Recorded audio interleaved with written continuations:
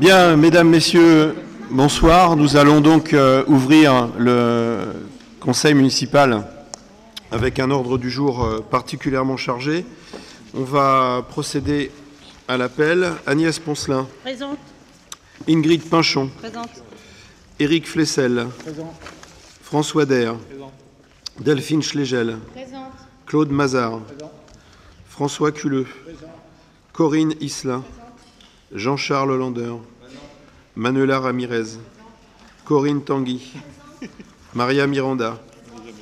Véronique De Aquino a donné pouvoir à Madame Agnès Poncelin. Ida Peloso. Éric Fournier. Isabelle Bopin-Vecchio. Pascal Galibert. Vincent Vernajoux a donné pouvoir à Monsieur Claude Mazard. Claire Hénin. Francis Defranou. Monsieur Bernard Livian. Madame Suzanne Charrier. Madame Martine Antonard Ringot. Monsieur Pierre Agement. Monsieur Jean-Pierre Lahaye. Monsieur Jean Recherchant. Madame Pascal Dumetz. Monsieur Louis Léonide. Donc, secrétaire de séance, Madame Agnès Poncelin.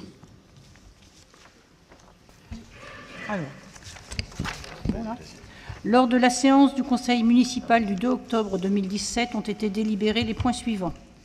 Jumelage avec la commune de Torre de Moncorvo au Portugal, adoption du règlement intérieur de la bourse aux jouets, approbation du tarif de principe des, des soirées dansantes, attribution d'une subvention au bénéfice de l'association des Amis d'Eugène Carrière au titre de l'exercice 2017, décision modificative numéro 2 de l'exercice 2017 du budget de la commune, fixation du montant provisoire du fonds de compensation des charges territoriales pour le financement des compétences transférées au titre de l'exercice 2017, présentation du DICRIM et information au Conseil de l'élaboration du plan communal de sauvegarde, retrait de la délibération d'octroi de la protection fonctionnelle au maire et nouvel octroi de la protection fonctionnelle, création d'un poste d'agent social, modification du tableau des emplois, modification du règlement de la Maison pour tous, présentation du Conseil municipal des jeunes et information au Conseil de l'élaboration de la charte de ce Conseil municipal des jeunes,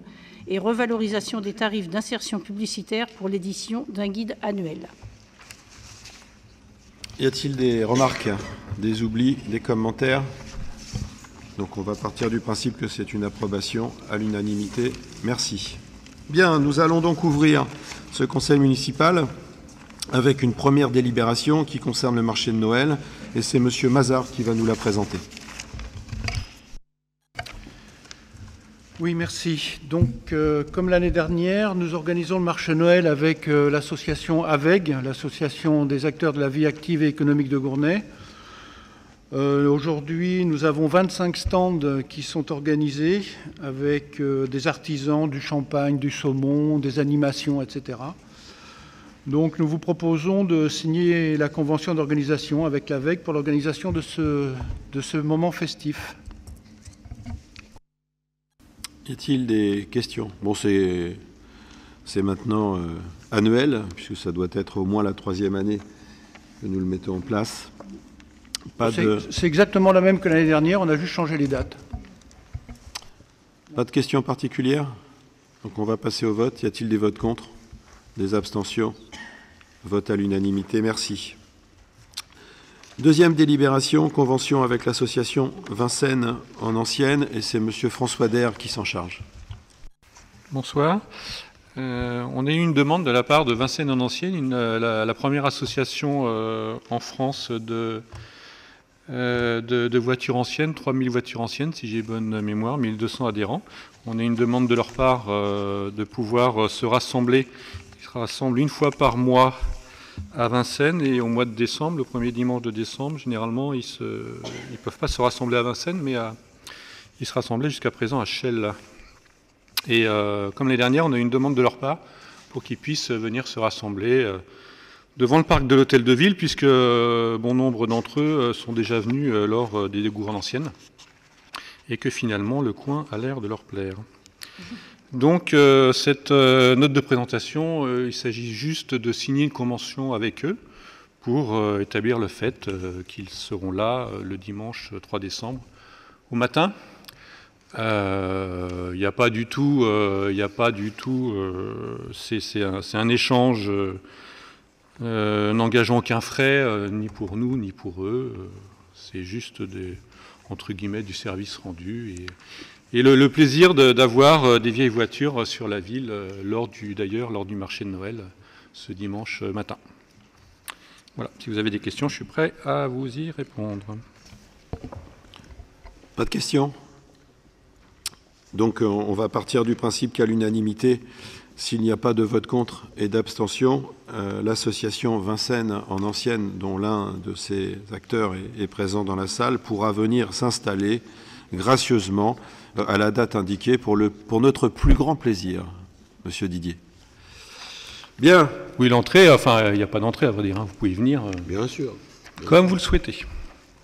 Alors j'ai mis, euh, j'ai mis une réserve, hein, puisqu'on ne sait jamais comment seront, seront les pelouses euh, en cette période. Il est bien évident que c'est un stationnement sur les parties solides de l'espace qui entoure la, la, mairie pour éviter, bien sûr, que les, pelouses soient bien évidemment dégradées. Voilà, c'est la seule réserve que nous avons évoquée. Délibération numéro 3, c'est toujours Monsieur François Der. Ça concerne la création d'une commission extra-municipale dans le cadre du jumelage avec la commune de Toré de Montcorvo. Donc jumelage suite. Euh, la dernière fois, j'ai parlé que nous allions monter une commission extra-municipale afin euh, d'élaborer, de, monter, d'encadrer euh, des projets de jumelage avec la ville de Toré de Montcorvo. Bah, du coup, c'est l'objet de cette note de présentation qui est la création de cette commission extra-municipale. Extra-municipale, puisqu'on euh, va y inclure dedans euh, des élus euh, ici présents et, euh, des personnes extérieures au conseil municipal, euh, entre autres de fait de, de représentants, représentantes, en l'occurrence, du monde associatif euh, pour composer cette, cette, commission qui sera euh, du coup euh, de 11 personnes, mais euh, pour laquelle euh, nous, nous, réservons le droit d'inviter sur certaines commissions des Tougournésiens qui souhaitent y participer et travailler avec nous sur des projets. Entre autres des présidents ou présidents d'associations cournésiennes. Donc, Concernant, euh, je pense que c'est un, vote qui peut, enfin, une ou une désignation qui peut se faire euh, à la main levée, hein, sauf si, euh, sauf si vous souhaitez que ce soit fait à bulletin secret. Donc on a, on a, on a choisi deux représentants de l'opposition afin de permettre aux deux équipes de l'opposition de proposer et de désigner au sein de chaque équipe un représentant. Si vous ne voyez pas d'inconvénient, vous pouvez bien évidemment partir du fait que d'un côté il y en ait deux et, et aucun, aucun de l'autre. Hein, vous vous organisez. Donc, en tout cas, euh, par rapport euh, à, à, à, notre conseil municipal, euh, moi, en termes d'élus de, de, la majorité, euh, nous proposons euh, Agnès Poncelin, Éric Flessel, Francis Defranou, Manuela Ramirez, Maria Miranda, Pascal Galibert et François Dair. C'est ça qui faisait le comité et en termes de représentants du monde associatif, donc je vous avais mis un peu la puce à l'oreille en disant représentantes, ce sont euh, Sophia Philippe et Gina Barbier qui ne sont pas là ce soir, mais qui, euh, qui sont bien sûr partantes euh, sur ce projet-là et prêtes à, à, continuer à s'investir. Donc euh, après, concernant euh, vos listes, je, je sommes prêts à vous écouter. Et eh bien, nous proposons Martine Antona. D'accord. Monsieur Lahaye je veux me porter volontaire. Et Madame Martine Antonin. Parfait. Ok, merci. Du coup, je vais euh, convoquer cette commission très certainement euh, avant les fêtes de fin d'année. Pas d'opposition particulière? On part du principe que c'est un vote à l'unanimité. Merci. Alors, attribution d'une subvention exceptionnelle pour une personne physique, c'est la note de présentation numéro 4. Pour une fois, euh, on nous demande euh, une participation pour accompagner euh, cette fois-ci une démarche de recherche.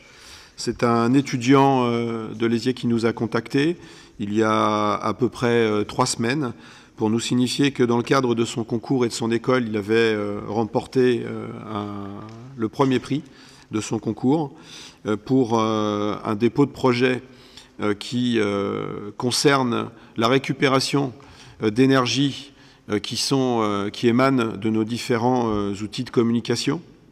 Donc il s'agit de capter l'énergie développée par nos téléphones portables, enfin tous les dispositifs qui permettent actuellement de communiquer et de faire que cette énergie puisse être transformée et réutilisée.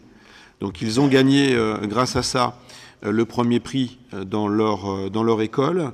Et suite à ce prix, ils ont été contactés et ils ont été sollicités pour participer à un concours sur Pékin. Ils sont donc conviés à représenter leur équipe, leur école. il leur fallait simplement financer le, trajet, puisqu'ils sont hébergés sur place à Pékin. Euh, et ce jeune est venu en tant que gournésien euh, nous, démarcher. Euh, ils sont trois, je crois qu'il y a un oiséen dans l'équipe et, le, ou la troisième est financée, enfin en tous les cas l'école a pris un financement de trajet, de, vol. Donc nous, nous avons au sein de notre équipe déjà répondu, avant de vous la présenter, à la question est-ce que la ville et le conseil municipal est en capacité d'accompagner, doit accompagner, peut accompagner? Donc on s'est euh, souvenu des projets que nous avions accompagnés, qui étaient plutôt des projets sportifs. Hein, euh, pour mémoire, Eric Roseau, hein, vice-champion du monde de, décathlon en catégorie senior. On a eu euh, le trophée des gazelles, on a eu etc. Pour le coup, et on, était toujours à, hauteur de 200-300 euros d'accompagnement. pour le coup, on s'est dit, qu'on pouvait faire un geste supplémentaire au regard de la pertinence de, ce qui est évoqué. Et nous vous proposons, en tous les cas, d'accompagner ce jeune gournésien à hauteur de 500 euros sur un budget, sur un budget voyage qui s'élève à 700 euros. Voilà, vous savez tout. Y a-t-il des questions? Madame, je vous en prie. Oui, moi je voudrais savoir pourquoi on ne lui paye pas carrément le billet à 700 Parce que pourquoi 200 euros de différence euh, Enfin, c'est un jeune qui a du talent, pourquoi pas encourager? Je, je me pose la question. Alors, pourquoi juste 500 C'est une question. C'est une question qui nous a animés aussi. Euh, on s'est dit, euh, ça fait l'objet d'un vote d'ailleurs. On n'était pas tous d'accord. on s'est dit qu'il était, comment dire, souhaitable aussi que l'intéressé participe à, son voyage. Euh, la gratuité totale, ça, ça en dérange certains. Euh, en tous les cas, ça fait l'objet d'un échange chez nous. Ça peut être l'objet, d'ailleurs, on peut le resoumettre aux voix, hein, c'est pas, pas difficile. Parmi les deux oppositions, vous êtes plutôt sur quoi? Cette idée est bonne. Euh, effectivement, on aurait parfaitement pu financer la totalité, mais je vais assez dans votre sens, ou du moins dans le sens de la majorité de ceux qui l'ont émise. C'est peut-être mieux qu'ils payent 200 euros quand même, parce que c'est... Voilà, mais bon.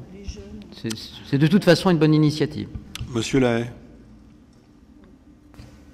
non, moi je pense qu'effectivement, que l'étudiant participe un petit peu, c'est son projet.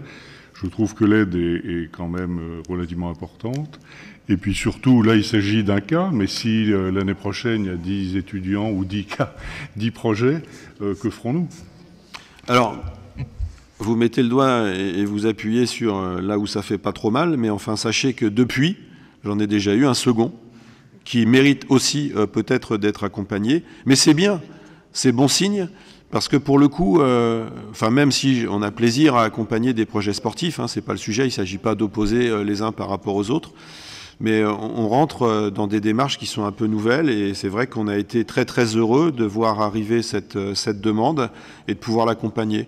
Moi, je pense aussi que d'accompagner à hauteur de 500 sur 700, puisque je faisais partie de celles et ceux qui ne sont pas forcément des partisans de la gratuité à tout craint, euh, ont voté euh, plutôt pour, euh, pour les 500. Donc j'entends qu'on va rester sur les 500 et je vais soumettre du coup à, la sagacité du conseil municipal cette proposition d'accompagner ce jeune Maxime Le Petit. Alors on lui a quand même demandé de nous faire un petit retour d'expérience avec une petite conférence qui, sera, qui aura lieu dans la salle des mariages, un petit peu comme le fait le musée Eugène Carrière, euh, le samedi après-midi ou le dimanche. Ce sera à cadrer et vous en serez bien évidemment informés et vous serez conviés et invités afin qu'ils puissent nous faire un petit retour sur ce qu'ils ont vécu à Pékin tous les trois. Alors l'équipe, cette fois-ci, qui sera reçue et qui puisse nous présenter un peu plus sérieusement son projet euh, que je ne l'ai fait moi.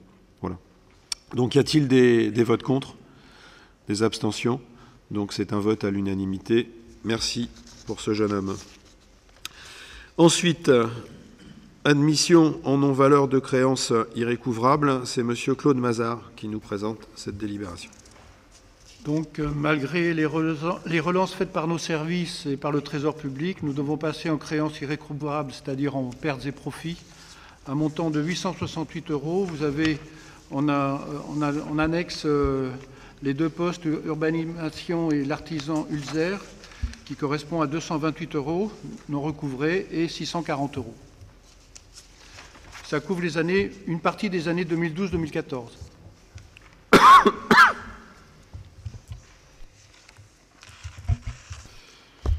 Y a-t-il euh, des commentaires, des remarques?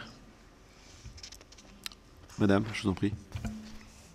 Oui, moi je voudrais savoir euh, pourquoi on n'a pas euh, recouvré les sommes. Qu'est-ce qui a fait? C'est un manque de, de travail euh, du Trésor public Je ne sais pas. Alors, pourquoi on n'a pas eu les sommes? Alors déjà, les- les- nos services ont fait leur, leur travail de relance durant les deux mois, puisqu'il y a une limite de deux mois, et par la suite, c'est le Trésor public qui prend la main et qui fait ou non les relances. Ensuite, euh, la, créance est recouvrable ou pas en fonction de la capacité à rembourser la, cré- la créance due. Euh, éventuellement, la- la- l'artisan a disparu, donc euh, c'est du perte et profit. Quant à Urbanimation, c'est une société qui s'occupait de, de la brocante chez nous. En 2012, euh, on a trop payé sur sa facture et on n'a pas réussi à recouvrer le trop perçu. Et depuis, on court après, nous et le Trésor public, et c'est devenu irrécouvrable. Alors, et d'autant plus euh, urbanimation, c'est que comme on ne passe plus avec, euh, par eux pour la brocante, on n'a plus tellement de, liens avec eux. Après l'artisan, je ne sais pas, mais urbanimation, de toute façon, on ne travaille plus avec eux. Donc c'est encore plus compliqué, euh, je suppose, de récupérer l'argent. C'est la même chose. hein. C'est quelqu'un qui n'est plus, sur la ville, hein, qui a quitté la ville depuis euh, au moins deux ans, je crois. Alors, ceci dit, on a, on a quand même été avec Monsieur Mazard rencontrer euh, le trésorier principal, euh, justement, pour les questions de, recouvre, de recouvrement. Il y a, quoi? Il y a deux, mois maximum, hein, entre un mois, et, deux mois, puisque, bon, de manière récurrente, on voit passer des, des non-recouvrements et, et des admissions en non-valeur. Euh, c'est presque un principe de fonctionnement. Alors, nous, on a essayé, on a demandé à la trésorerie de nous permettre de continuer à demander le recouvrement au-delà des deux mois, puisque euh, actuellement, c'est deux mois et on a atteint le maximum. Estimant et pensant euh, que nos services, en continuant non pas à harceler, mais en tous les cas à réclamer, euh, obtiendrait peut-être un peu mieux euh, le recouvrement des sommes dues par rapport à, à ce que fait ou ce que ne fait pas le Trésor public. En l'occurrence, ce qui est parfois pas fait. Je vais le dire comme ça. Mais ceci dit, il y a aussi des situations où, en tous les cas, c'est compliqué. C'est compliqué. euh, les exemples qui sont ici, s'il y en a, il y a une boîte qui existe toujours. Concernant l'artisan, il n'existe plus, lui, sur la ville. Donc, difficile de, faire pression pour récupérer quelque chose. Quand, euh, quand les artisans ou les commerçants sont encore sur la ville, c'est possible. Alors, ça, d'ailleurs, ça ne concerne bien évidemment pas que des commerçants. hein. Il y a aussi euh, beaucoup d'impayés qui sont, qui sont des objets, enfin, l'objet de, personnes privées qui ne s'acquittent pas du centre de loisirs, de la demi-pension, j'en passe, passe et des meilleurs. Ça ne concerne pas simplement, bien sûr, les commerçants. Voilà. Y a-t-il euh, d'autres questions? S'il n'y a pas d'autres questions, on va passer au vote. Y a-t-il des votes contre? Des abstentions? Donc c'est un vote à l'unanimité. Ensuite, nous allons passer à la délibération numéro 6 qui concerne l'approbation du rapport de la CLECT métropolitaine du 4-10-2017. C'est toujours Monsieur Mazard. Alors, à ne pas confondre avec la CLECT du territoire, puisque nous payons déjà pour 150 000 euros approximativement depuis deux ans une collecte pour le territoire. Il s'agit ici de la collecte de la métropole sur des transferts, euh, sur l'environnement notamment et le développement économique qui n'ont pas encore été faits en 2017, qui, vont l'être faits en 2018. Donc euh, cette, euh, cette, note de présentation montre quelles sont les, les charges transférées, l'évaluation des charges qui vont être faites en 2018 et qui approuve le fait qu'en 2017, il n'y a aucune charge à passer sur le budget 2017. On n'a aucune anticipation des charges qui vont nous être incombées sur la période 2017-2018, enfin du 1er janvier 2018 au 31 décembre 2018.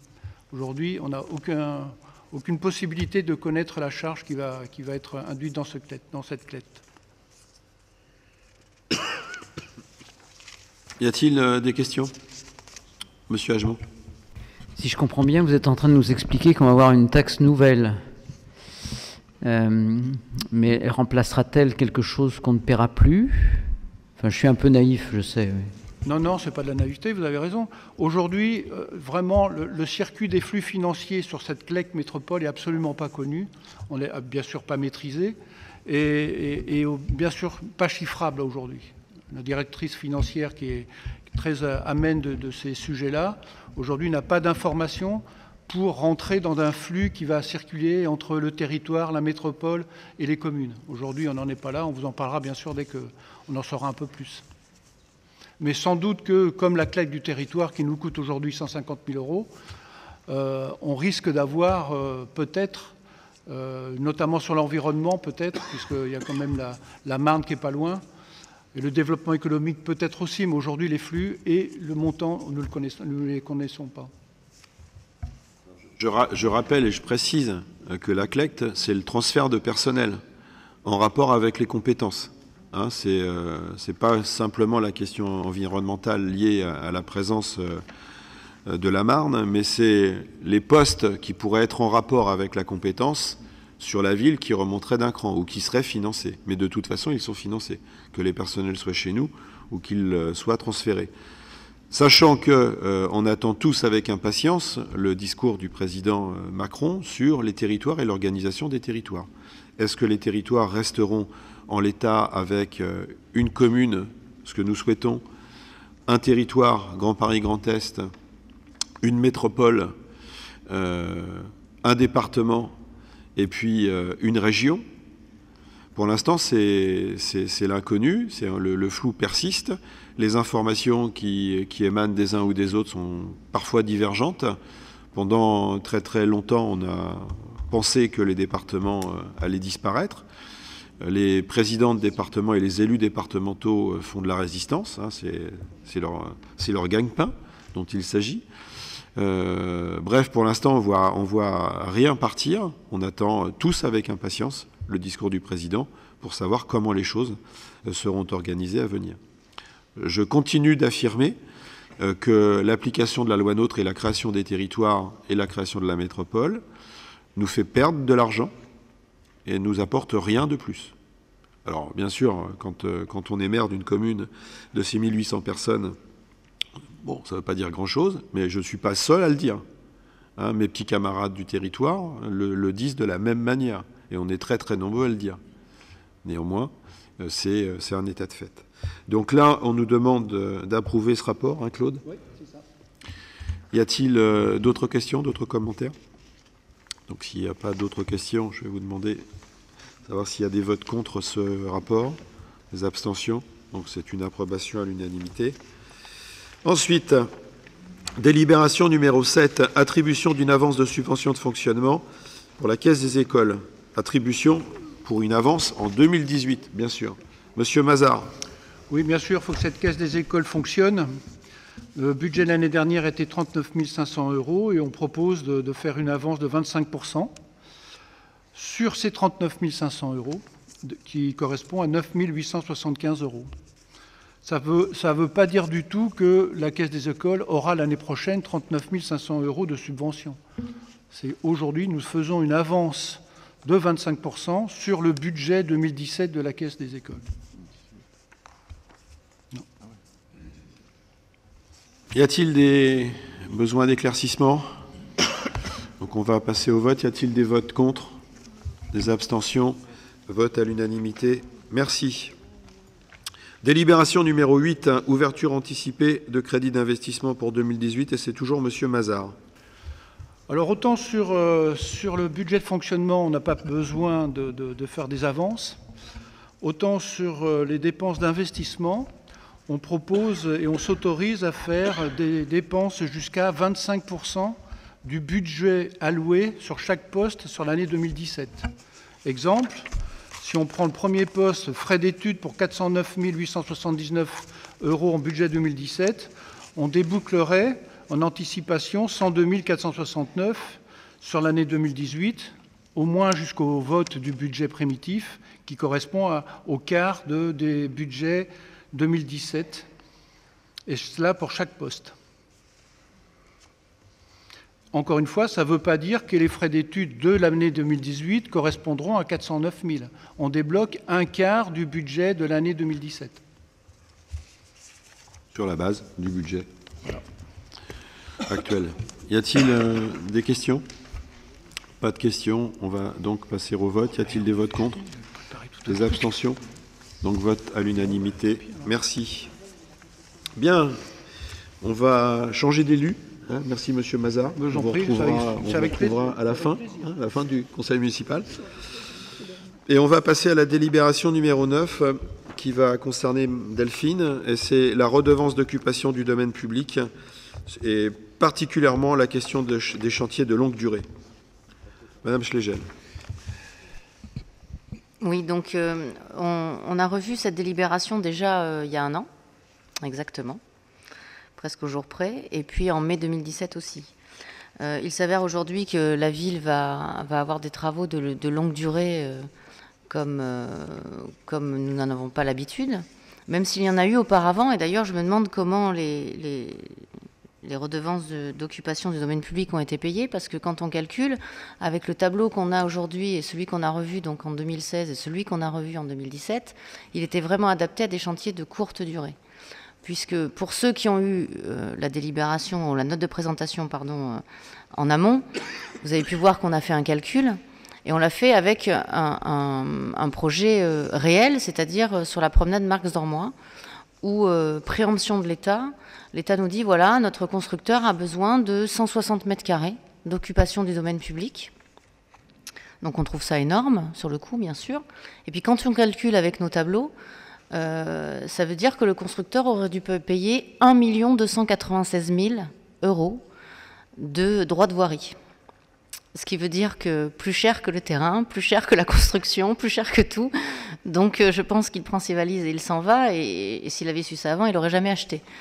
Donc euh, du coup, euh, forcément, les services de l'État s'en sont inquiétés, euh, le constructeur également, et puis ils nous ont dit vos droits de voirie, enfin, ils ne sont pas du tout ad- adaptés aux chantiers de longue durée. Ce qui est complètement vrai. On a toujours des, chantiers, on va dire, de courte durée. Donc on a estimé les chantiers de longue durée à ceux qui dépassent un mois. Forcément, euh, nos tarifs sont pas pour euh, plébisciter le fait qu'un riverain laisse une benne euh, sur le trottoir pendant quatre semaines, etc.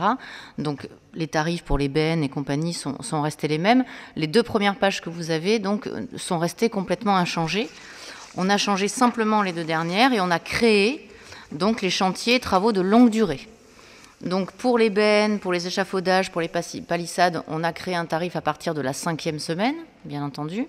Et par contre, pour les chantiers de longue durée, pour l'occupation du domaine public et le matériel de chantier, on a créé un tarif à partir de la première semaine. Quand on sait qu'un chantier va durer 18 mois, on a créé un tarif dès la première semaine qui s'adapte au chantier de 18 mois.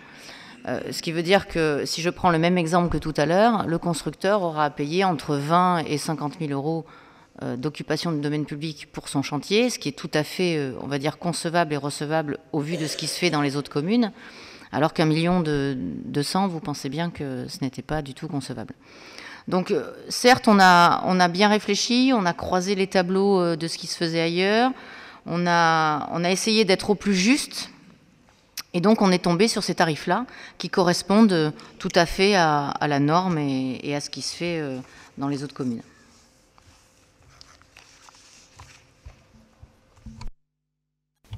Y a-t-il des commentaires? Monsieur Hageman, je vous en prie.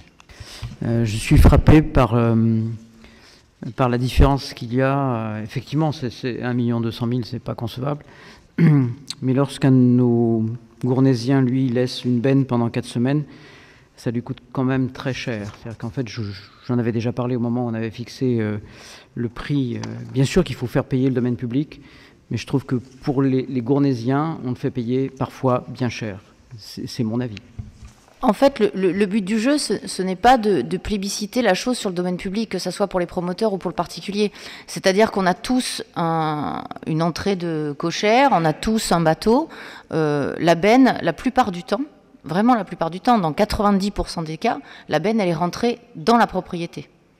Et, c'est ce qu'il faut plébisciter pour éviter qu'on ait des bennes sur le trottoir. Mais d'ailleurs, il faut plébisciter aussi auprès des, promoteurs. C'est-à-dire que 160 mètres carrés de domaine public, avec euh, le constructeur euh, Marx Dormois, on est en train de revoir ça. C'est pas possible, 160 mètres carrés sur le domaine public euh, sur 18 mois. Donc on revoit ça avec eux. Et pour le propriétaire, c'est exactement la même chose. Le but du jeu, c'est de rentrer d'abord sa benne chez lui, et si jamais il y a impossibilité technique, si jamais ce n'est pas possible, etc., on le met, on le met sur le domaine public. Mais quel, quel propriétaire aujourd'hui, avec les travaux qu'on fait chez soi, a besoin d'une benne sur le domaine public pendant quatre semaines?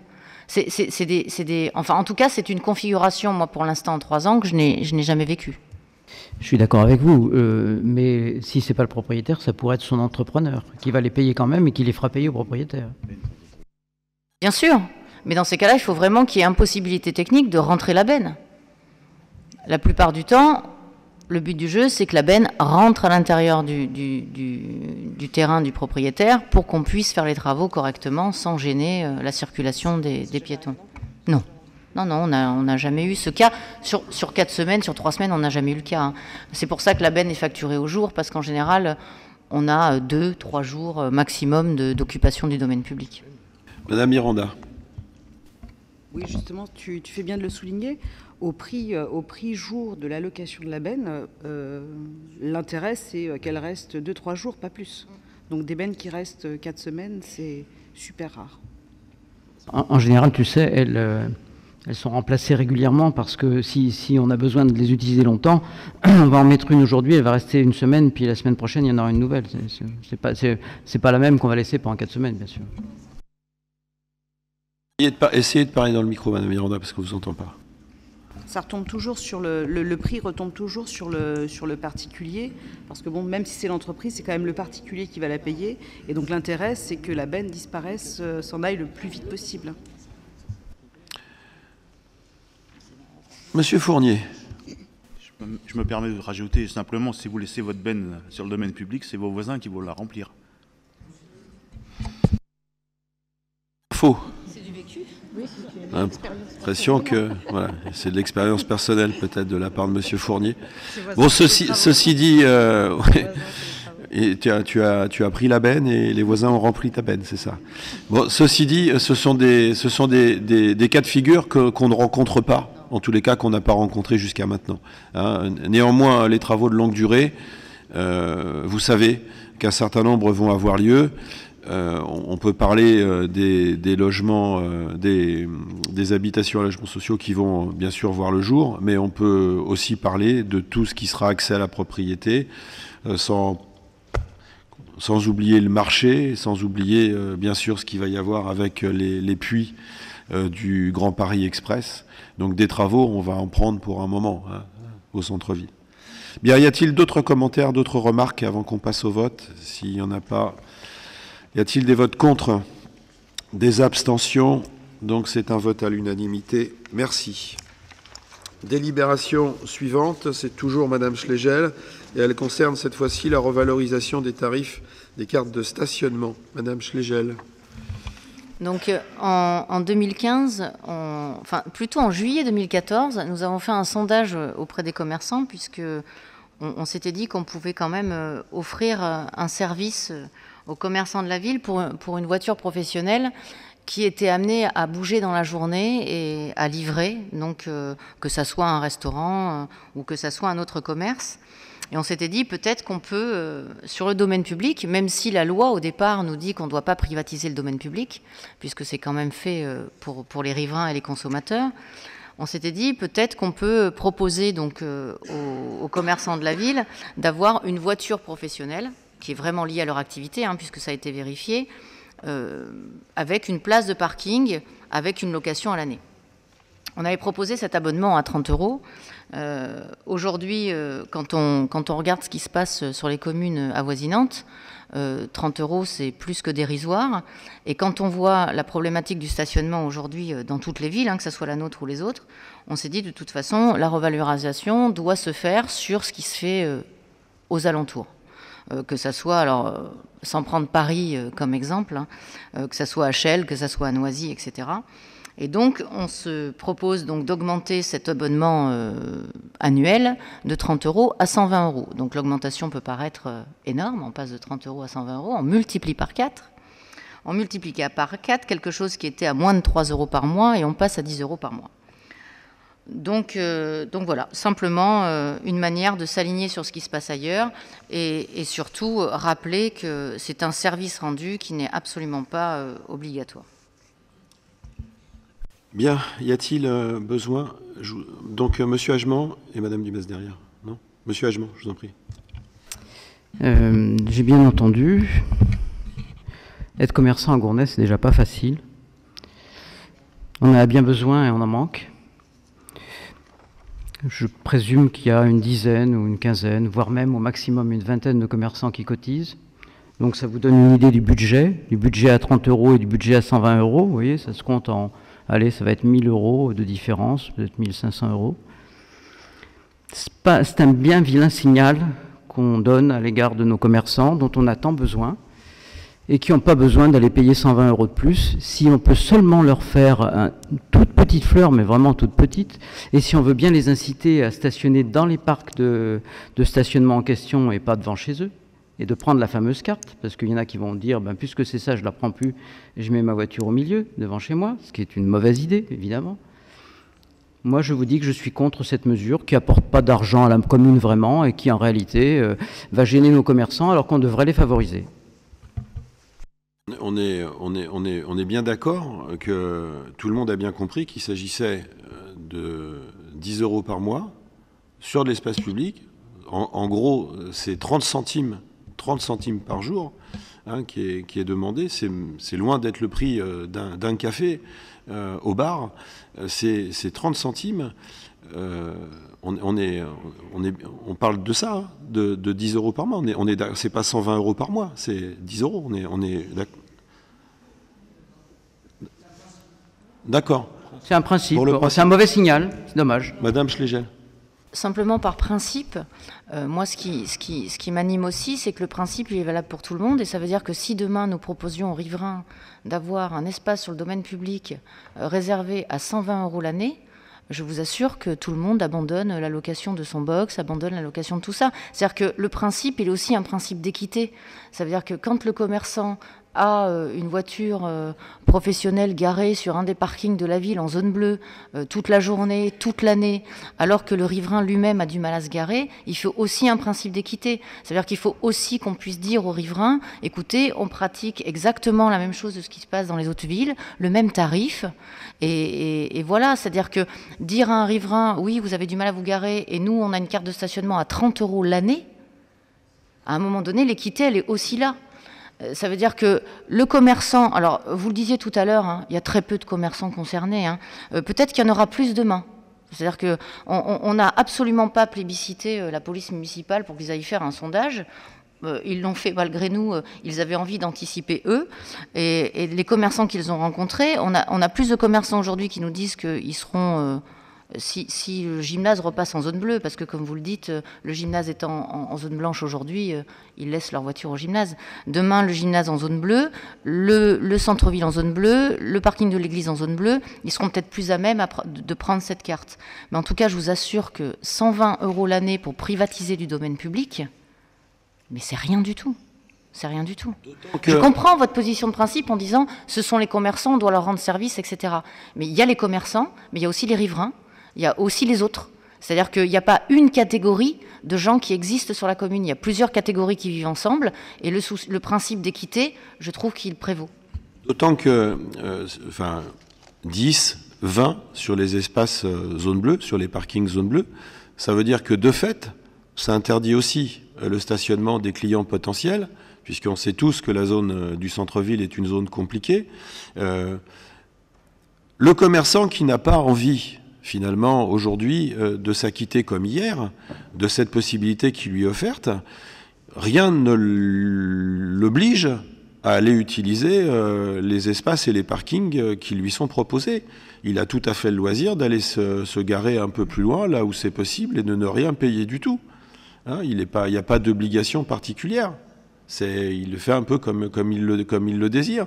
Moi, euh, j'ai le sentiment que quand on a offert cette possibilité il y a, trois ans, même si on est en, dessous de, ce qui aurait dû être proposé à ce moment-là, et de très loin, ça me semble être une avancée. Et je pense toujours qu'à 10 euros par mois, c'est encore quelque chose qui est tout à fait euh, admissible et acceptable pour un commerçant en centre-ville qui a, et c'est parfois la, contradiction qui les anime, la volonté de laisser son véhicule devant son échoppe. Devant son échoppe. C'est à cette fin qu'on leur propose peut-être d'aller ailleurs pour que justement ils laissent les places devant les commerces vide pour les potentiels clients Enfin, moi, j'ai envie de vous répondre que déjà, on, pourrait très bien décider euh, que le parking de l'église est exclu, par exemple. Hein, C'est-à-dire qu'ils doivent mettre leur voiture ailleurs que sur ce parking-là, parce qu'ils peuvent faire aussi 200 mètres à pied pour venir à leur commerce. Et c'est bien préférable qu'ils laissent place à leurs clients plutôt que de les garder pour eux-mêmes. Euh, ceci dit, euh, quand vous me dites monsieur tout le monde, bah, monsieur tout le monde, le commerçant justement, il n'est pas monsieur tout le monde. Vous remarquerez que dans les communes où on manque de commerçants, les communes essayent de payer pour que les commerçants reviennent. On ne va pas tarder à le faire si ça continue. Et, par ailleurs, ils animent la ville. Et d'autre part, eh bien, eux, ils cotisent beaucoup. C'est-à-dire qu'ils payent des impôts dus à leur fait d'être commerçants ce qui n'est pas le cas de Monsieur Tout le Monde. Donc, ils ne sont pas assimilables aux riverains qui vont, eux, vous dire ah ben oui, mais si je pouvais avoir la même chose. Ils nous amènent quelque chose de plus et on en a bien besoin. Donc, je crois qu'il est bien dommage, et je réitère, et je pense, et nous voterons contre, euh, de, mettre en place cette mesure. Voilà, c'est notre avis. Alors, à, vous écouter. Alors, il y a peut-être euh, d'autres d'autres personnes qui souhaitent intervenir? Madame, Madame Charrier et puis euh, Monsieur. On va parler ensemble. Oui, moi je vais rejoindre Monsieur Hagement, je suis entièrement d'accord. Je suis d'accord avec vous quand vous dites que le montant est dérisoire, tout à fait. Mais Delphine parlait d'équité. Moi je suis persuadé que vous lancez un, un, sondage auprès de la population pour savoir si pour eux les commerçants doivent être privilégiés. Je suis sûr que tout le monde va vous dire privilégier les commerçants. On n'en a déjà pas assez et je pense que c'est un mauvais signal effectivement pour ce que ça va rapporter, c'est la mauvaise signe. Ah, écoutez, Madame Charrier, je vais vous prendre au mot et je vais vous suivre. Je vais ôter cette délibération, je vais annuler la carte préférentielle qui existait auprès des commerçants et nous allons sonder les Gournésiens pour savoir finalement que veulent-ils. Ça veut dire que pour respecter l'équité qu'il doit y avoir entre les administrés, qu'ils soient de simples administrés, des commerçants ou autres, ils seront, demain soumis au même régime en attendant le fruit et le résultat de la proposition que vous venez de nous faire, Madame Charrier, à savoir de solliciter les Gournésiens sur cette question-là. Les commerçants doivent-ils avoir euh, un stationnement privilégié Et on essaiera de voir d'ailleurs quels sont les tarifs qu'on peut leur demander. Donc euh, je retire cette délibération et je prends au mot votre proposition, Madame Charrier. Ça veut dire que, en attendant d'avoir ce retour, donc on va organiser les choses. Il n'y aura plus euh, de carte en, direction des artisans, des commerçants, etc. Tout le monde sera soumis au droit commun, à charge pour chacun de s'organiser pour que le véhicule soit stationné au bon endroit, faute de quoi ils se verront les uns et les autres amendés au prix euh, du PV ordinaire. En tous les cas, je retiens votre, votre proposition, Mme Charrier, et je j'ôte cette proposition de délibération. Monsieur Monsieur le maire, je trouve que c'est une bonne idée de, de l'ôter. Et puisque vous voulez faire un sondage, je souhaiterais que nous participions à la rédaction de la question. Merci. Euh, on, retire euh, cette délibération. Euh, ça veut dire qu'il n'y a plus sur la ville de cartes en, direction des commerçants. Donc ils iront stationner où ils peuvent jusqu'à temps que nous soyons en capacité de faire voter le conseil municipal sur quelque chose de, plus cohérent, si le qualificatif convient. voilà, donc on, est, tous à égalité sur la ville, commerçants administrés, pas de, de cartes. Voilà. Monsieur le maire, juste, euh, j'ai fait un peu de recherche. Or, ça, c'est pas forcément représentatif, mais par exemple, à Noisy, la carte est à 260 euros. À Villiers, euh, c'est des stationnements payants avec des bornes. Neuilly-sur-Marne, la carte, la carte, est à 312 euros. Coubron, il n'y a pas de carte. Beaujour, des bornes payantes. Rony-sous-Bois, c'est 26 euros. Villemomble, la carte est à 300 euros. Quant à Aulnay, c'est 1,80 euros la journée. Donc si on multiplie approximativement sur le nombre de jours travaillés, c'est à peu près 500 euros. Pour information. Hein. Oui, mais Monsieur Mazard, je pense que votre comparaison n'est pas pertinente pour la raison que ce sont des villes importantes, beaucoup plus importantes que la nôtre, où il y a beaucoup de commerce, alors que nous, on en manque et qu'on voudrait bien en faire venir. Vous avez raison. Et qu'on veut pas, au lieu de les punir, on voudrait plutôt les encourager. Bien sûr, vous avez raison, mais les problématiques de ces commerces dans ces villes-là sont les mêmes que les nôtres. Ils y paraissent aussi, y compris à Noisy. Hein. Faites un tour à Noisy, vous allez voir le nombre de, des shops qui sont vides. Bien, on va passer à la note de présentation euh, suivante, qui est la note de présentation numéro 11 dont je vais, dont j'ai la charge de la présentation. Il s'agit euh, de l'armement de la police municipale et le renouvellement de la convention communale de coordination. Alors la nouveauté, euh, c'est que nous souhaitons euh, vous proposer d'armer notre police municipale. Alors, c'est des problématiques et des questions qui, qui ont été évolutives.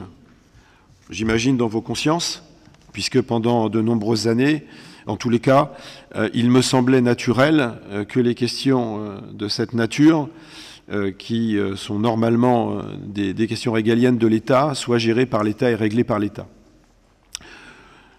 La question de la police municipale il y a 20 ans ne se posait pas du tout de la même manière qu'elle se posait il y a 10 ans et encore moins aujourd'hui. Je crois qu'aucune personne élue autour de la table ne peut contester la nécessité impérieuse d'avoir une police municipale digne de ce nom. Je sais, enfin je pense, en tous les cas savoir que certains d'entre nous ont encore quelques questionnements euh, sur le fait d'armer ou pas, demain, des policiers municipaux. Et je peux le comprendre, tout à fait, en conscience. Néanmoins, il me semble qu'aujourd'hui, ce choix, nous ne l'avons plus. Nous n'avons plus pour deux raisons. La première, c'est que nos policiers municipaux, nos ASVP, sont en danger simplement parce qu'ils sont vêtus de bleu marine.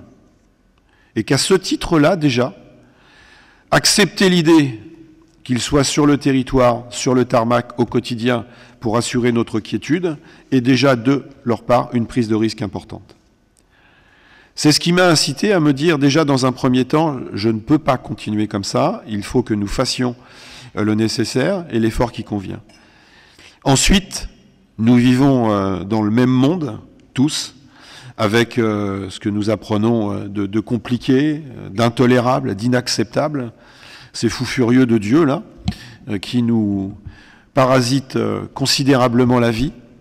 Et dans le contexte vécu par la France, il me semble aussi qu'il est naturel que nous prenions notre part.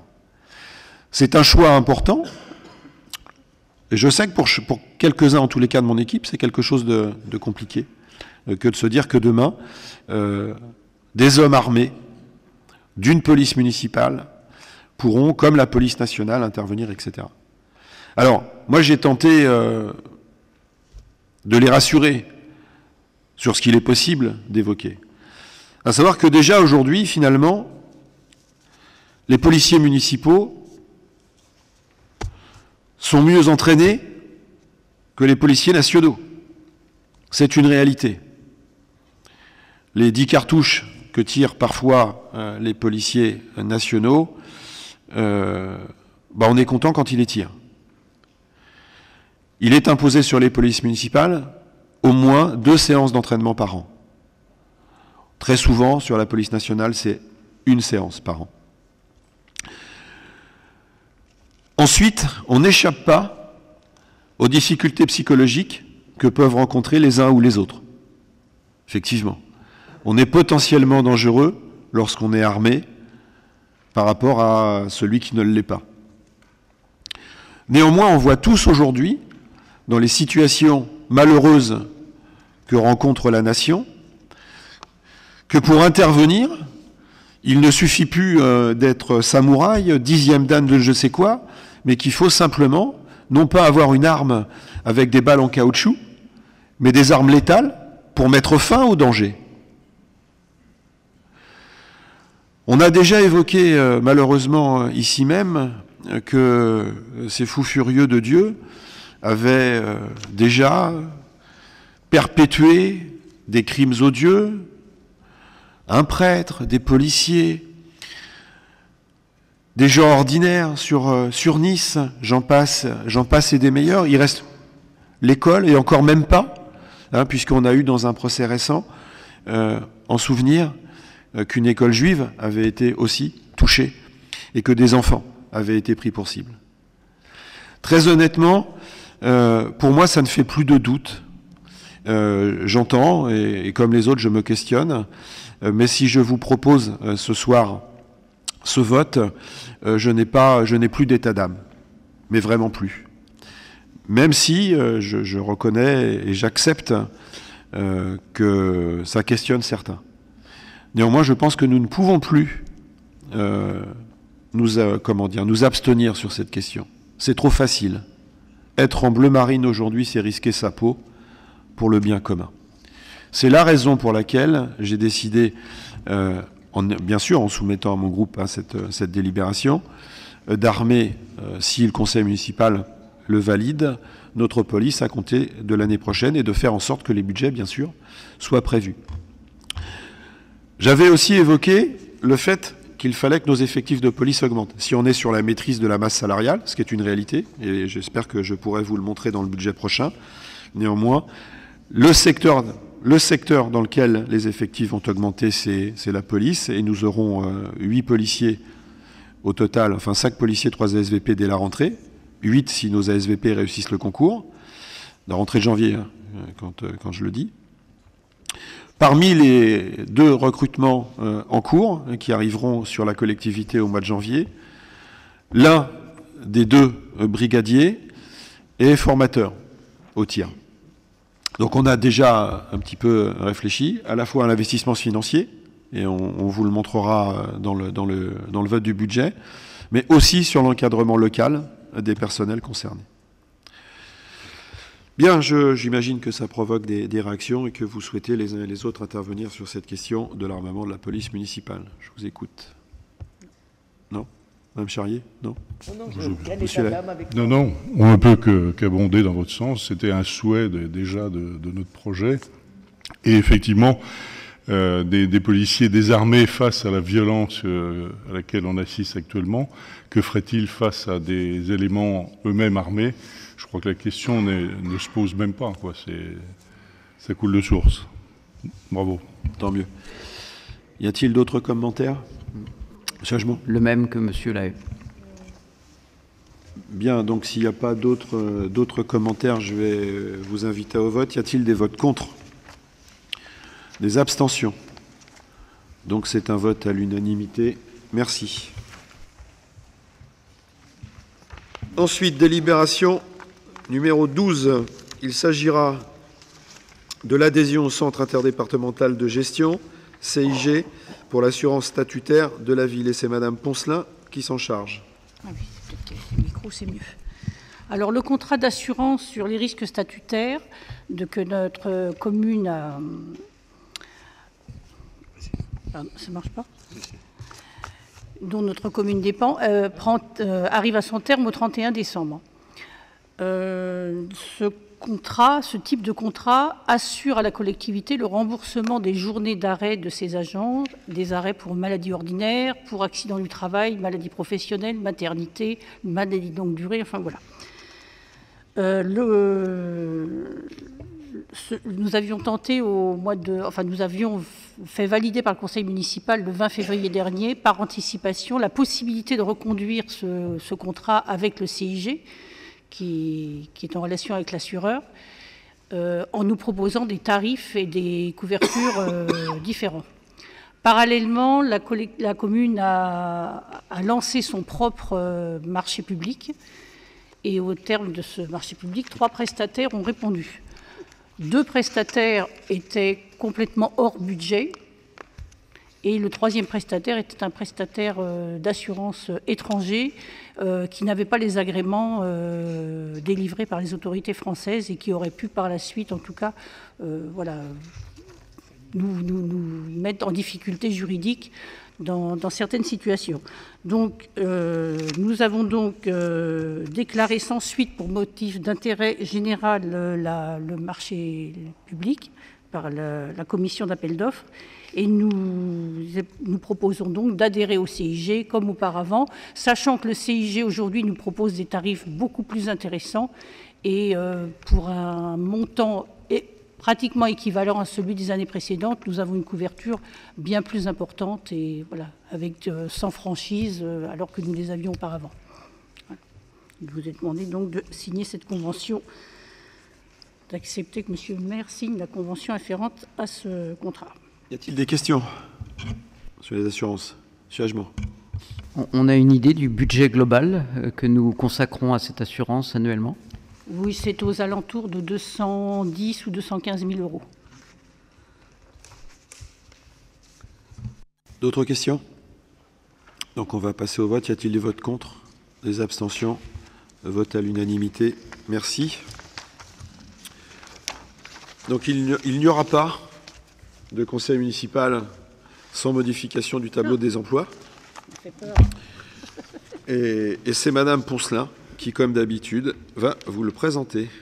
Bon, eh bien, toujours, c'est toujours le même principe. Euh, des agents qui sortent de la collectivité par mutation ou par euh, demande de disponibilité, d'autres qui, qui, sont recrutés ou qui demandent une réintégration euh, à la fin de la disponibilité. Et donc, voilà, on, est, on équilibre. Euh, les deux postes de gardien brigadier correspondent d'ailleurs à une mutation plus à un poste que nous avions créé en vue d'un recrutement pour euh, étoffer l'équipe de la police municipale. Or, il se trouve que les deux recrues que l'on a, sont des brigadiers chefs principaux. Donc on supprime les deux postes de brigadier, gardien brigadier, pour créer deux postes de brigadier chef euh, principal. Et puis après, l'adjoint d'administration, c'est une sortie de la collectivité. Et puis l'adjoint administratif un agent qui redemande à réintégrer à la suite de sa disponibilité. Voilà. Y a-t-il euh, besoin d'éclaircir tout ça? Pas de nécessité, donc on va passer au vote. Y a-t-il des votes contre, des abstentions? Vote à l'unanimité. Alors, délibération numéro 14. Il s'agit de voter le tarif pour les participations aux sorties organisées par les seigneurs de la ville, Madame Poncelin. Alors, deux fois par an, vous le savez maintenant, nous proposons des programmes de sortie pour les seniors, toujours euh, un programme euh, élaboré avec ces seniors par euh, le biais de, rencontres que nous faisons deux lundis par mois et avec l'appui de, cette association Bon Pied Bon Oeil. nous avons donc trois sorties payantes. Hein. Il y a plus de trois sorties, mais il y en a trois qui sont payantes. C'est pour ça qu'on vous les met au, au vote. Une qui est du Panthéon à la police avec une visite du Panthéon, une visite du musée de la police avec un, repas, donc pour 52 euros. Le musée de la contrefaçon, qui est une, une visite avec un guide conférencier. C'est une visite qui a été annulée euh, au mois de novembre cette année pour cause de travaux urgents au musée, donc nous l'avons reconduite pour 2018. Et puis au Carrefour des Canaux, c'est une promenade en bateau sur le au canal de Briard avec euh, un repas et la visite du musée de la céramique à Gien. Voilà, pour 52,50 euros.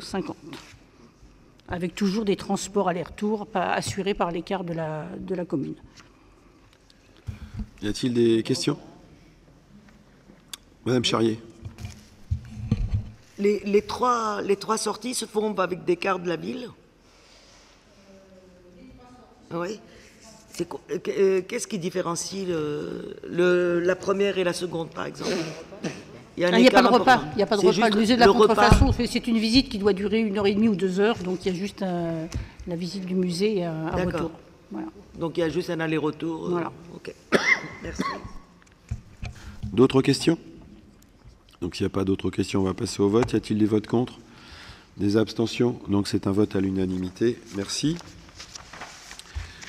Ensuite, délibération numéro 15. Il s'agit du reversement au profit du CCS de la somme de 884 euros perçue par la commune dans le cadre du remboursement effectué par le groupe Chèque Déjeuner. Monsieur Mazard. Oui, nous avons reçu un chèque de 884,03 euros des chèques de déjeuner qui concerne les tickets restaurants perdus ou périmés au titre euh, du millésime 2016. On propose de reverser cette somme au CCAS, comme les autres années d'ailleurs. Tous les ans, on récupère comme ça un chèque qui, qui revient. Des questions? Pas de questions. Y a-t-il des votes contre? Des abstentions? Donc c'est un vote à l'unanimité. Merci. Délibération numéro 16, convention de mise à disposition du jardin de la police municipale. Monsieur Culeux. Oui. L'école maternelle du château nous a présenté à la Caisse des écoles un projet commun global autour du jardinage qui se décline en plusieurs phases. Outre une classe transplantée pour les quatre classes de grande section, les enfants et les équipes pédagogiques, accompagnés d'intervenants et en lien avec les jardiniers de la commune, vont jardiner dans les parterres et jardinières existants au sein de l'école. Au-delà de ces espaces, l'équipe enseignante sollicite l'autorisation d'utiliser le jardin de la police municipale. Conformément au Code des collectivités territoriales, article L 2121-29, il est proposé au Conseil municipal d'adopter la convention telle que jointe en annexe et d'autoriser Monsieur le maire à la signer. Bien. Donc ceux qui ne savaient pas qu'il y avait les jardins de la police municipale, vous le savez maintenant. Hein, et en tous les cas, c'est un très joli projet euh, proposé par l'école. Madame Pinchon. Juste compléter en, disant que dans le cadre des, des projets communs qui sont mis en place euh, sur le temps euh, scolaire et sur le temps périscolaire, il y a également le centre de loisirs des Chenapans, donc qui accueille les enfants de maternelle, qui travaillent de façon euh, ludique, mais sur ce même projet de, de jardinage et qui fréquentera également euh, les jardins de la police municipale. Y a-t-il des questions? Monsieur Lay. Oui, juste une, une remarque. Ainsi, le projet pédagogique euh, nous plaît beaucoup. hein. Tout le monde a en souvenir le jardin de ses grands-parents. Et c'est, je trouve, euh, fort intéressant que des enfants puissent euh, se- se- s'intéresser à cela. Simplement, est-ce que vous avez prévu une division ou de clôturer ce terrain, puisqu'il va se trouver sur l'enceinte, dans l'enceinte de, de l'hôtel de police, et que le, le mélange des gens, si je puis dire, nous, interpelle un petit peu. Est-ce que le- les policiers ne vont pas apparaître comme euh, intervenants dans, euh, dans, la classe, enfin dans la cour de récréation et vice-versa. Vous voyez, il y a, un petit euh, sujet à, creuser là qui nous interpelle un peu. Je vous en prie. Ben, je pense que M. Chopin a, a prévu l'endroit où, euh, dans, dans le jardin de la police, à, à l'écart quand même du bâtiment, et qu'il n'y aura pas de collusion entre nos policiers et, les enfants. Moi, je, moi, je trouve plutôt, plutôt bien qu'ils croisent euh, de temps à autre, euh, dans un endroit comme celui-ci, des, policiers. Enfin, moi, je trouve que c'est plutôt bien qu'ils se retrouvent dans des endroits qui sont identifiés, sachant que, ce jardin est déjà utilisé. Alors, pas par les mêmes, puisque c'est pour l'instant, euh, nous avons offert la possibilité aux agents de la ville, mais comme c'était déjà le cas par le passé, hein, de continuer leur activité. Bon là, c'est euh, pas les gendarmes ou les policiers municipaux qui, encadreront les enfants. Hein, c'est les services de Monsieur Chopin Donc c'est rentrer, rentrer, sortir dans un espace. Bon, le, policier municipal est pas, enfin j'espère, en tous les cas, n'est pas celui qu'on n'a pas envie de voir. Il, fait partie de, notre environnement et, nos, enfants les voient aux abords de, des écoles, plus précisément les ASVP, mais bon, ça fait partie de l'environnement. Monsieur Culeux, vous souhaitiez ajouter quelque chose? Y a-t-il d'autres remarques? Monsieur Livian? Oui, juste une petite remarque complémentaire à ce qui vient d'être dit.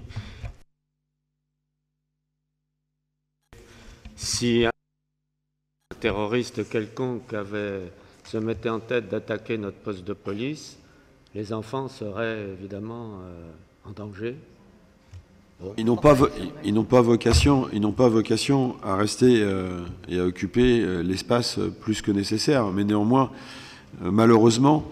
euh, si ces forcenés avaient envie d'opérer une opération de cet ordre-là, ben, il suffit simplement qu'ils se présentent devant l'école du château pendant la récréation et, et malheureusement, il se passera ce qui doit se passer. Quoi. Ah oui.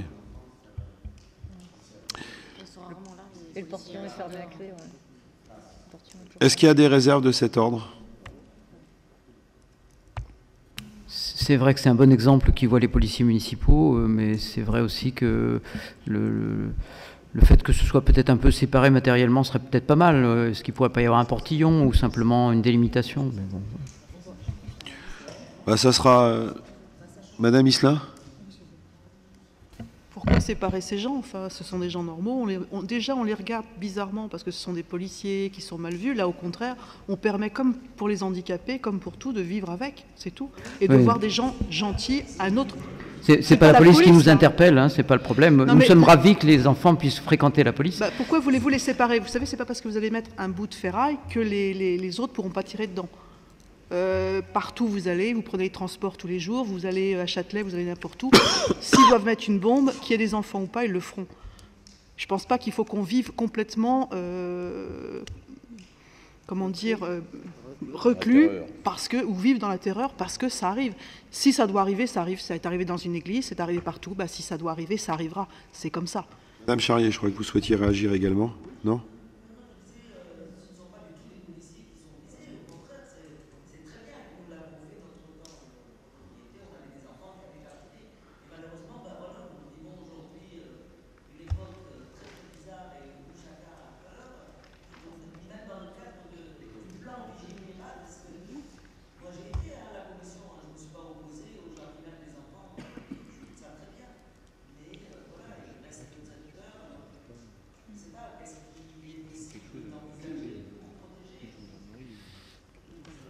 Donc, monsieur, monsieur, monsieur Lahaye, il y a madame Pinchon, ensuite il y a monsieur Fournier et madame Miranda.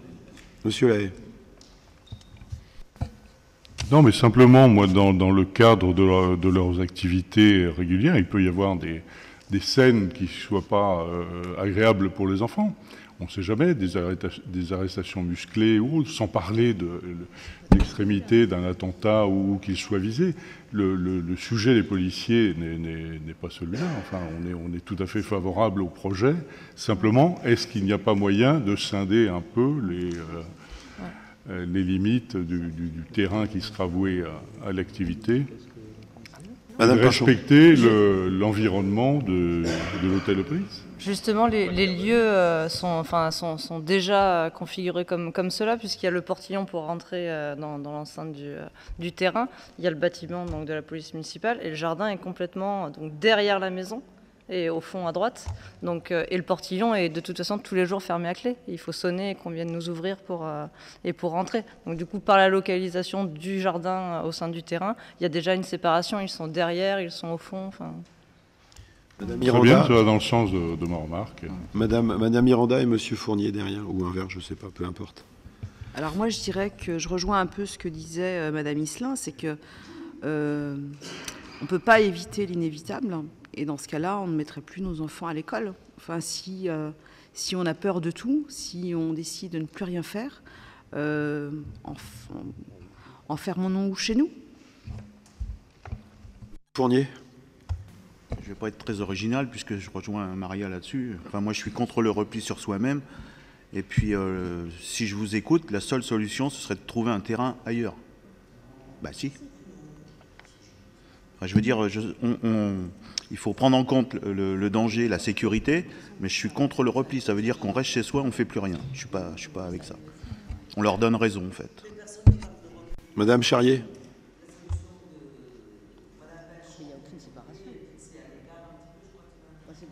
Mais c'est.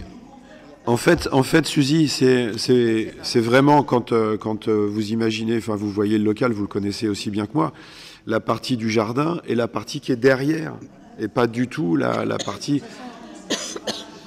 ensuite, euh, ensuite Monsieur Lahaye, on n'aura jamais la, possibilité d'aller construire je, ne sais quoi pour, pour isoler cette partie-là. Je sais que je qu'il avait été évoqué euh, l'idée euh, de, protéger les espaces de récréation.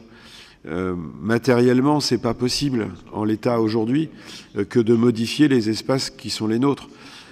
Après, très honnêtement, aujourd'hui, nos enfants seront certainement peut-être un peu plus en sécurité derrière là, demain, avec une police municipale digne de ce nom, qu'il pourrait l'être n'importe où ailleurs, sauf dans le cadre du scénario que vous évoquiez, Monsieur Lahaye, à savoir le, poste attaqué par, les fous de Dieu.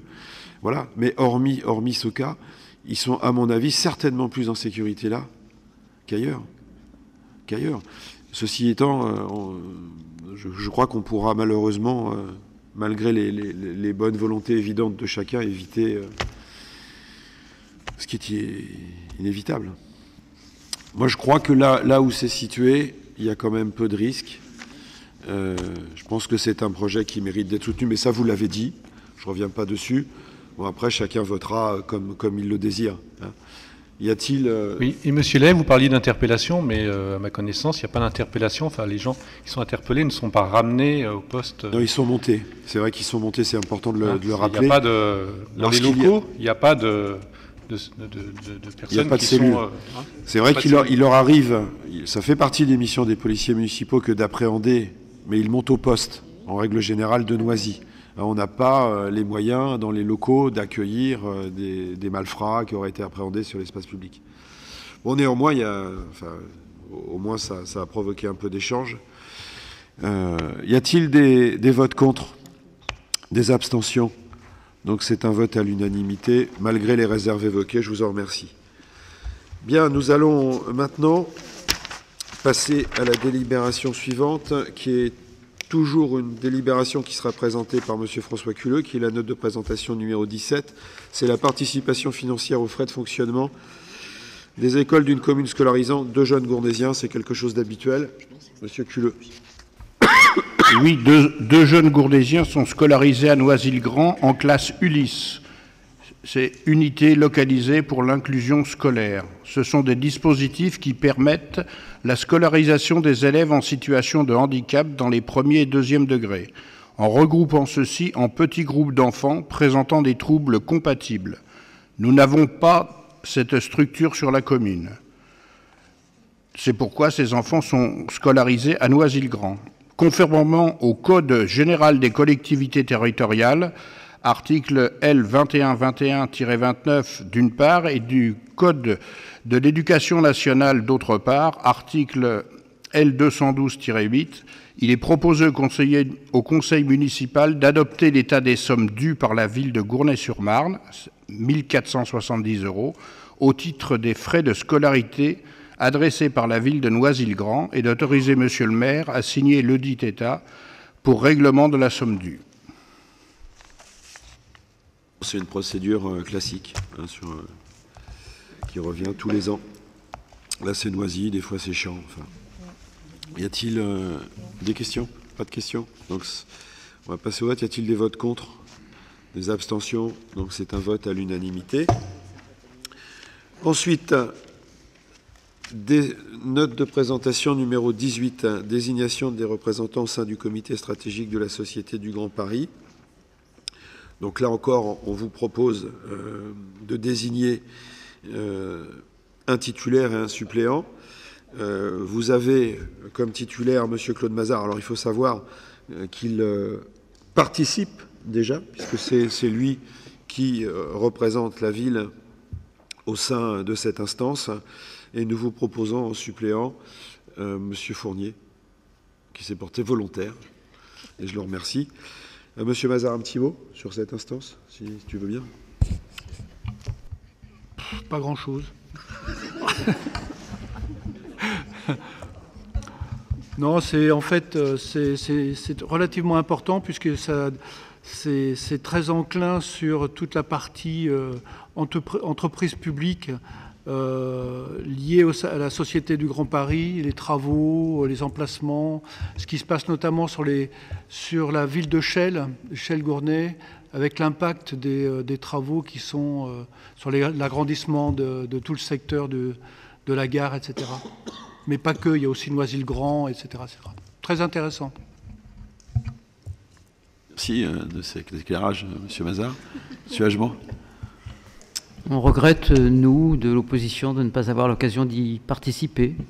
Ça aurait été sympa. Bah, écoutez, euh, la prochaine fois que M. Mazard y va, éventuellement, il peut vous emmener. Voilà, j'espère que ça vous Avec convient. plaisir. Non, non, vous me devez déjà les intérêts des 2 euros que je vous ai prêtés la semaine dernière. Ça, on ne veut pas le savoir. Hein. Donc, euh, en tous les cas, euh, Claude, euh, je t'invite à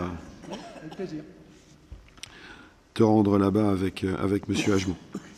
Et enfin, la dernière note de présentation, numéro 19, sur le transfert de la compétence mobilité transport à l'établissement public territorial.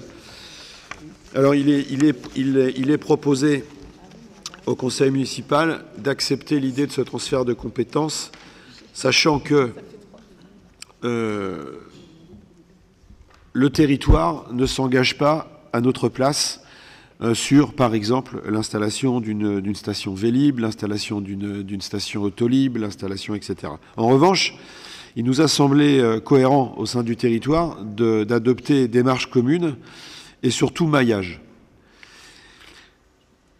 Et il nous a semblé aussi important que le territoire puisse être un interlocuteur privilégié et particulier au regard de la métropole, principalement, puisque pour exister et pour peser, il faut être souvent un peu plus, un peu plus nombreux. Enfin, pour revenir à la question, à la question du transport et, et sur les propositions d'installation de stations telles que Vélib, pour que ça puisse fonctionner, vous comprendrez aisément qu'une station Vélib installée simplement au centre-ville de Gournay-sur-Marne n'aurait pas de sens si nos petits voisins ne se dotaient pas des stations équivalentes.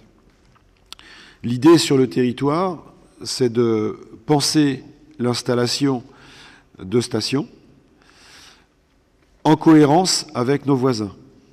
Par exemple, à Gournay-sur-Marne, ça pourrait être très intéressant d'installer une station Vélib pour permettre aux Gournaisiens d'aller à Shell en Vélib, à la condition bien sûr que Shell se dote de la station qui va bien. Sinon, ça ne sert à rien. Ce qui vaut dans ce sens-là vaut aussi pour Noisy-Champ. C'est un peu plus compliqué, puisque la côte est importante, et que pour que nous installions une station ici, il faut que nous ayons l'assurance que nous puissions avoir des Vélib électriques. Ça existe, ça se fait. Mon collègue Orancy est en train euh, de penser à acter l'idée, non pas de pédaler simplement, mais de réaliser et de faire en sorte qu'il ait la garantie que sur la station Vélib qu'il installera, hein, je, pense que tout le monde connaît euh, la côte du Rincy, euh, quand, euh, quand on descend de son train et qu'on doit se rendre Plastière, ça peut être un peu compliqué. Ici, c'est pareil. Si on devait installer une station pour permettre à nos administrés d'aller sur Noisy-Champ, encore faut-il que nous ayons l'assurance. Enfin bon, il y a des grands sportifs parmi les, les Gournaisiens, j'en doute pas. Mais enfin bon, l'assistance électrique est, bien vue. C'est des choses qui existent, mais il faut et ce qui, est, ce qui vient d'être exprimé entre Gournay, Chelles d'un côté et Noisy-Champ de l'autre vaut bien sûr pour les autres communes, puisqu'on a à peu près tous les mêmes problématiques. Il en va de même pour les stations Autolib. Il faut savoir que la métropole du Grand Paris euh, favorise euh, depuis un certain temps l'installation de ce type de station, finance, mais ce n'est pas tant le financement qui a du sens, c'est surtout son utilisation enfin l'utilisation qu'on pourra en tirer. Donc on, est, euh, on, est forcément intéressé par ces questions-là, mais pas à n'importe quel prix. Donc l'idée, c'est de remonter simplement cette compétence sur le territoire, sachant qu'il n'y a pas d'obligation d'engagement. Voilà, c'est tout. Donc il vous est euh, proposé de vous prononcer pour ce transfert et d'accepter l'idée. Monsieur Hagement.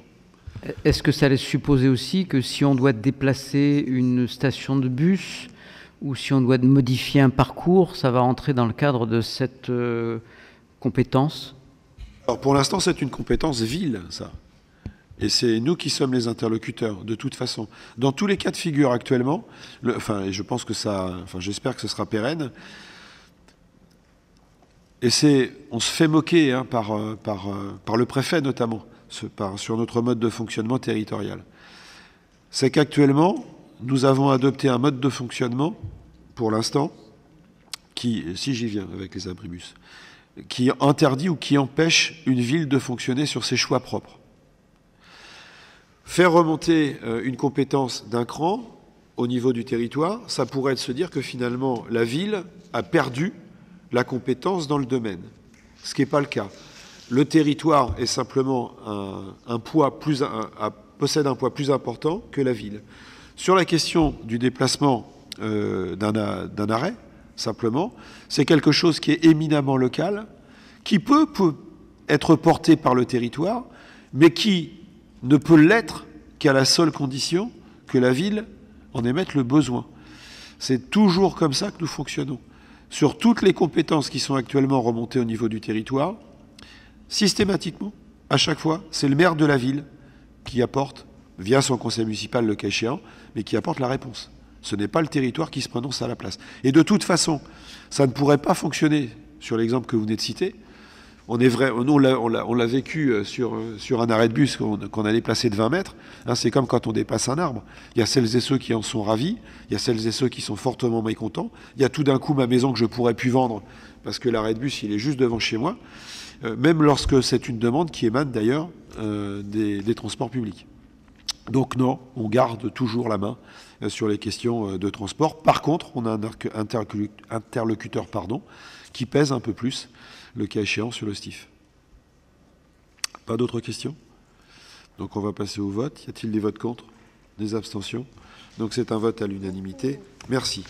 Bien, euh, il n'y a plus de délibération. Il n'y avait pas euh, de questions diverses ce soir. Néanmoins, euh, Monsieur Mazard va vous faire une petite présentation du sondage qu'il a effectué auprès des commerçants. Rassurez-vous, c'est pas très long, ça va 10 minutes.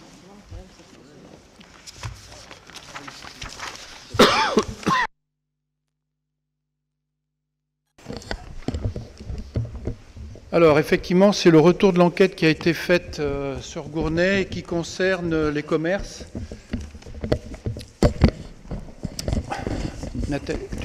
tu me, regardes. Hein. Donc 1875 questionnaires distribués, 744 euh, retournés, 40% à peu près de, retour, ce qui, est, ce qui, est, à mon avis euh, très positif. 72 commerces mis à contribution avec l'entremise de, de, la VEG, avec Essan d'ailleurs.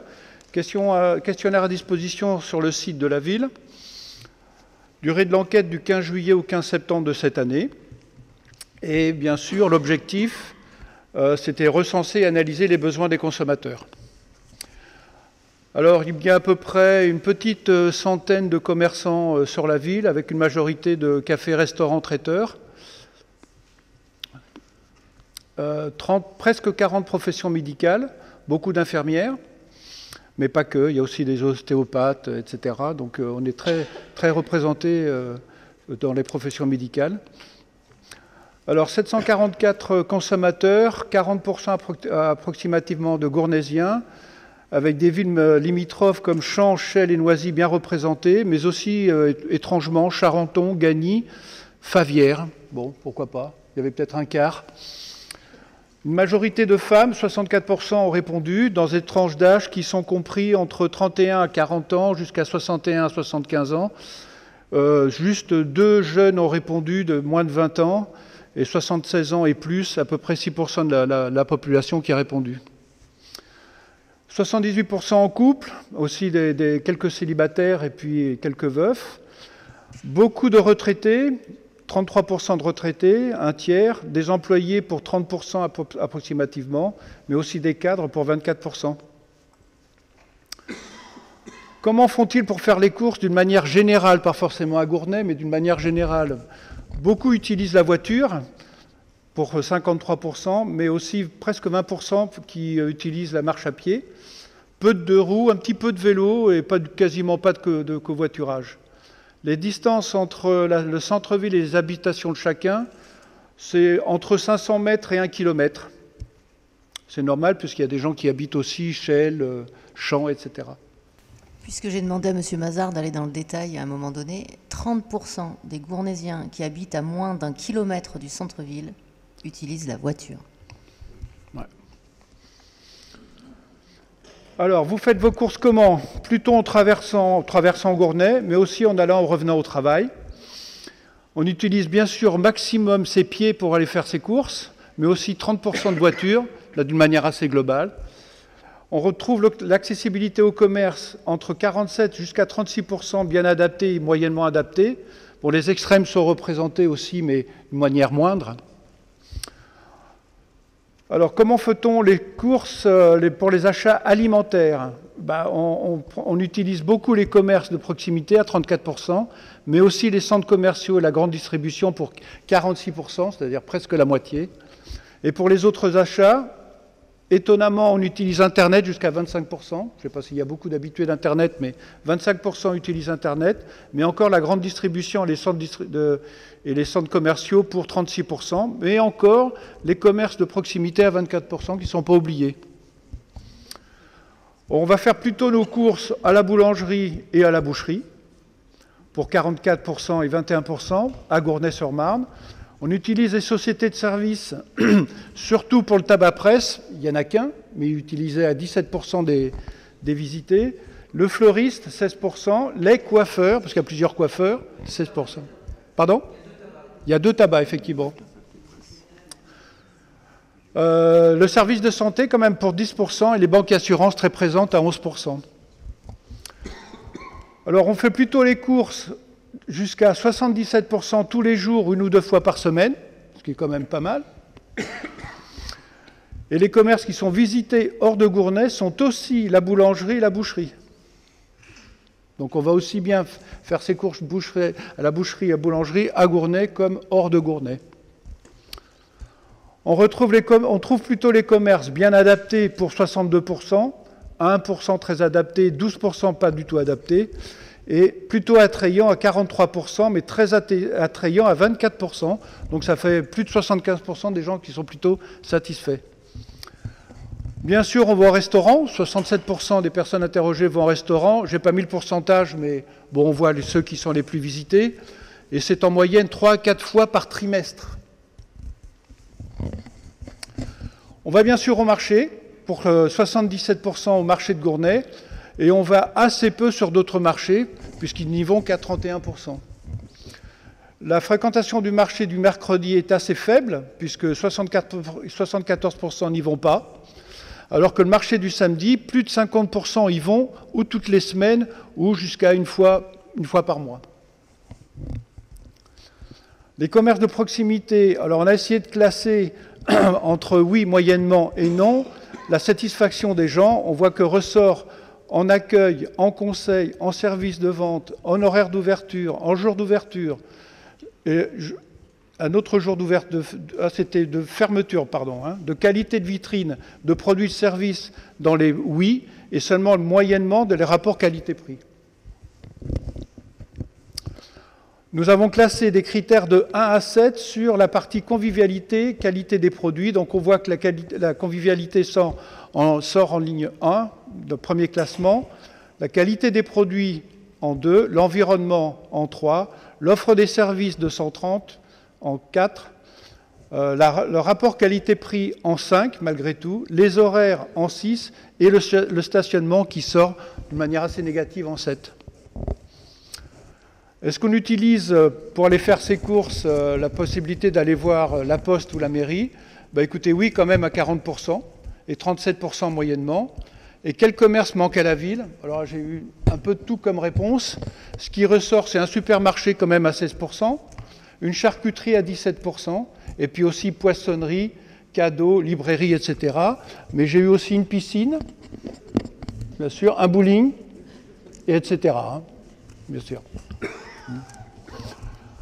Alors ensuite, on a essayé de savoir, parmi les, gens qui ont bien voulu se déplacer et répondre, les problèmes qui sont liés au commerce de la ville. Bien, ressort spécifiquement, bien sûr, le stationnement à 22%, la proximité des, grandes enseignes autour de chez nous, qui sont le Carrefour et Auchan, mais aussi d'autres, des loyers trop élevés, les loyers des commerçants, bien sûr, hein. le manque d'action de certains des commerces, la manque de diversité pour 9%, etc., jusqu'à la manque d'attractivité qui n'est seulement de 2%.